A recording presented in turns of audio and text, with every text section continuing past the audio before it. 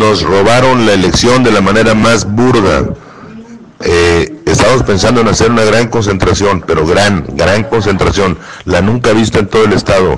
O sea, es, lo, que hicieron a ti no lo hicieron nosotros en todo el estado.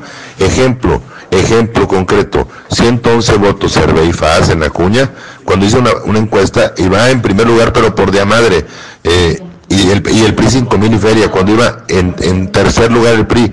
Es decir, es lo más burdo que he visto en mi vida. Son unos hijos de la chingada. Hagamos una gran concentración, pero organicémonos todos los que fuimos asaltados por el puto tirano del gobernador y su bola de cuaces, cabrón.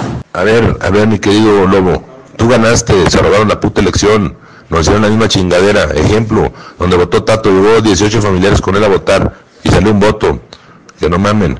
Eh, Pancho Colonias eh, fue con, junto a sus 80 familiares, todos marchando a votar y sacó un voto. O sea, que no mames, nos están robando la puta elección.